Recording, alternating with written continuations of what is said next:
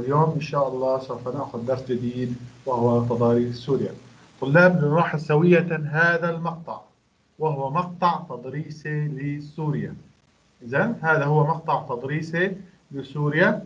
هذا المقطع يبدأ من الغرب يبدأ من الغرب وحتى البادي السوري في الشرق. هذا يبين لنا مقطع عرضي مقطع عرضي لسوريا. إذا مقطع عرضي لسوريا يمتد من الغرب إلى الشرق. يشمل آه، مقطع بسميه مقطع تضريسي يعني يشمل التضاريس الموجودة في سوريا. وقلنا إيش معنى التضاريس. تشمل المرتفعات والمنخفضات الموجودة في أي منطقة. لما بقول مرتفعات ما فمعناه إيه، تعني الجبال والهضاب والتلال. أما المنخفضات فتعني السهول والوديان والحفر. فما هي آه، تضاريس سوريا؟ نلاحظ سوية هذا المقطع. يبدأ من الغرب في البحر المتوسط. يلي البحر ماذا؟ ماذا يوجد؟ سهول ساحلي. سهول ساحلية. سهول الساحلية يلي السهول الساحلية. في عندي جبال الجبال الغربية. الجبال الغربية. يقع الغربية. نعم يقع إلى الشرق من الجبال الغربي منطقة تسمى بالحفر والمقعرات الانهدامية. إذا الحفر والمقعرات الانهدامية تقع شرق الجبال الغربية ويقع شرق الجب... آه، هذه المنطقة منطقة الحفر الجبال تسمى بالجبال الشرقية يليها الهضاب والسهول الداخلية. فهذه أسميها الوحدات التضريسية في سوريا. ماذا أسميها؟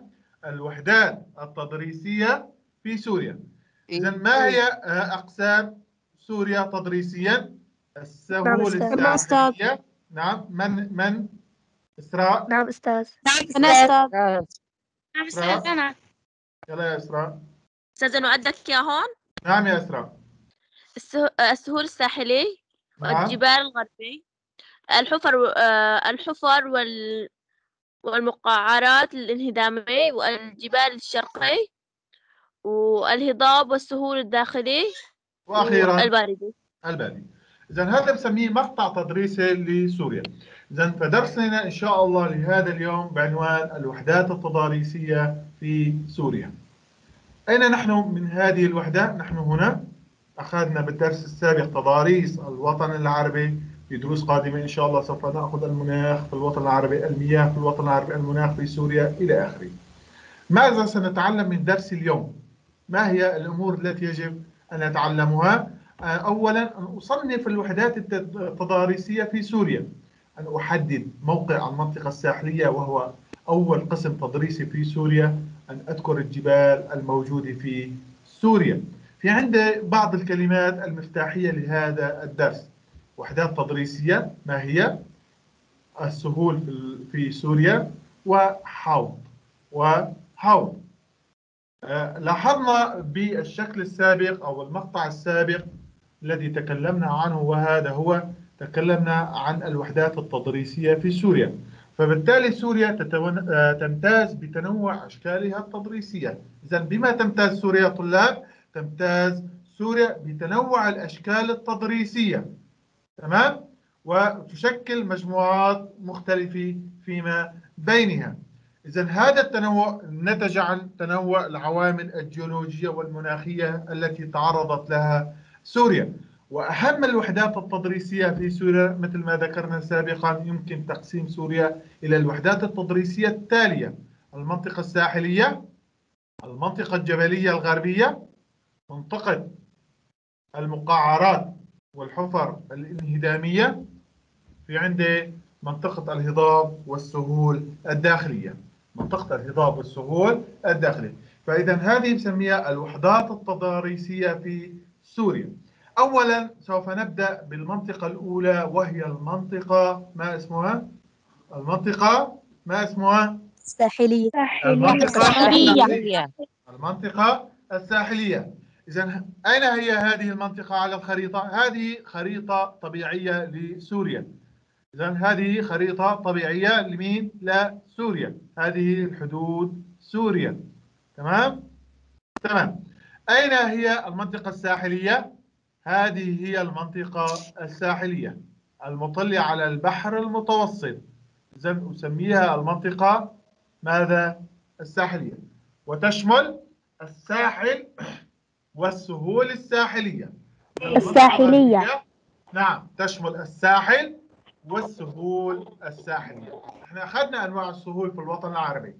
تقسم إلى قسمين سهولا ساحلية والسهول الثانية سميناها؟ فيضية. أنت سهولا فيضية. إذا نبدأ بأولا المنطقة الساحلية.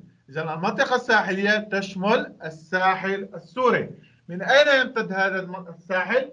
يمتد من الحدود التركية حتى مصب نهر الكبير الجنوبي لاحظينه على الخريطة أين يوجد نهر الكبير الجنوبي؟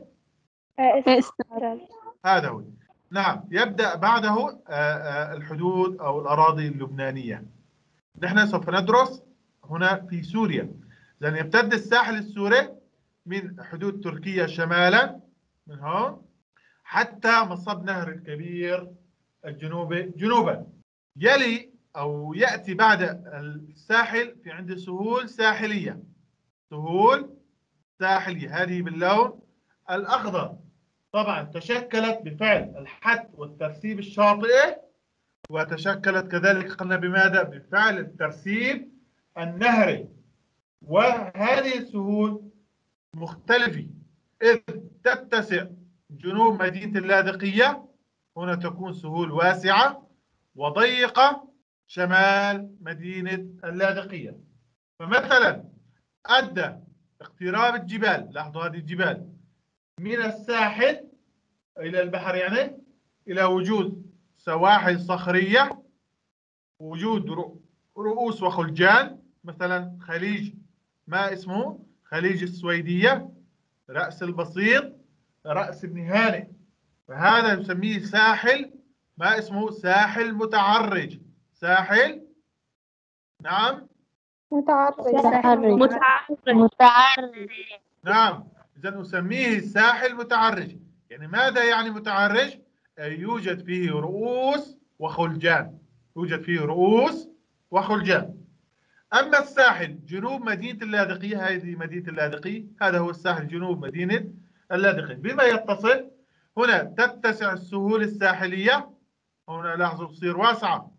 هنا تكون واسعة. السبب ابتعاد الجبال عن ماذا؟ عن البحر. عن البحر. هنا الساحل هو ساحل رمله ساحل ماذا؟ رمل رملة رملة أما الساحل شمال مدينة اللاذقية فهو الساحل ما نوعه؟ صخرة ساحل صخري. أحسنت. إذا هنا ساحل صخري. شمال مدينة اللاذقية ولكنه ساحل رملة جنوب مدينة اللاذقية. هنا يظهر قبالة الساحل جزيرة في سوريا هي جزيرة أروان. هذه هي جزيرة أروان. شايفينها على الخريطة طلاب أو محل المؤشر؟ مكتوب أستاذ. أروان. جزيرة إيه أروان. هنا يأتيني سؤال آه، مهم جدا وازن وازن بين الساحل جنوب مدينة اللاذقية والساحل شمال مدينة اللاذقية. ماذا نقول؟ نقول آه، الساحل شمال مدينة اللاذقية هو ساحل صخري السهول الساحلية ضيقة بسبب اقتراب الجبال من البحر. آه، أهم الرؤوس والخلجان نقول خليج آه، السويدية رأس البسيط رأس ابن أو نقول هو كثير التعارج. نفس نقول كثير التعارج تمام يا طلاب؟ إيه تمام. أستاذ. ما نوع الساحل جنوب جنوب اللاذقية؟ أقول عنه ساحل آه، رملي. ما اسمه؟ ساحل رملي. السهول الساحلية واسعة بسبب ابتعاد الجبال عن البحر. ساحل قليل التعارج قليل التعارج هنا تظهر قبالة الساحل جزيرة تسمى بجزيرة أروان.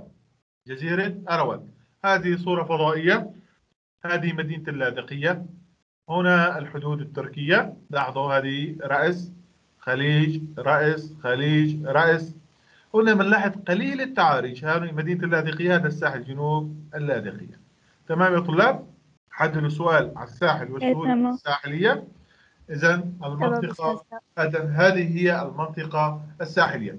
نقرأها سوية. أو من يقرأ لي المنطقة الغربية؟ نعم أستاذ أنا بقرأ. برفع الإيد أستاذ. أستاذ. نعم. أستاذ. نعم يا أحمد نعم يا أحمد زيدان. تفضل يا أحمد. اقرأ لي المنطقة الغ- الساحلية.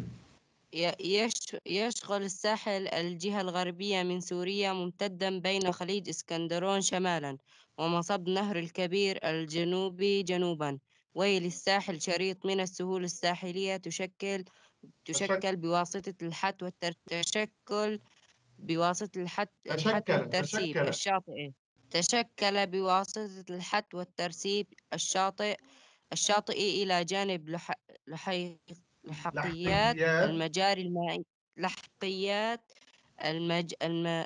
المجاري المائية المقطعة لهذا الشريط وتتباين صفات الساحل والسهول الساحلية بين شمال مدينة اللاذقية وجنوبها ففي الشمال أدى اقتراب سلسلة الجبال الغربية من البحر إلى وجود سوا- سواحل صخرية مرتفعة كثيرة التعاريج تكثر فيها الرؤوس والخلجان كخليج إسكندرون في لواء إسكندرون المحتل الذي يعد من أهم الخلجان لا, تس لا اتساعه وحمياته من الرياح اثنين وخليج السويدي الواقع بين رأس الخنزير ورأس البسيط كما أدى هذا الاقتراب من جانبه إلى مضيق السهول الساحلية الضيق. عموما في هذا في عموم إلى ضيق السهول الساحلية عموما في هذه المنطقة كما هو الحال في السهول إسكندرون. أما جنوب مدينة اللاذقية فإنها فإن هذه السلسلة الجبلية تبتعد عن الساحل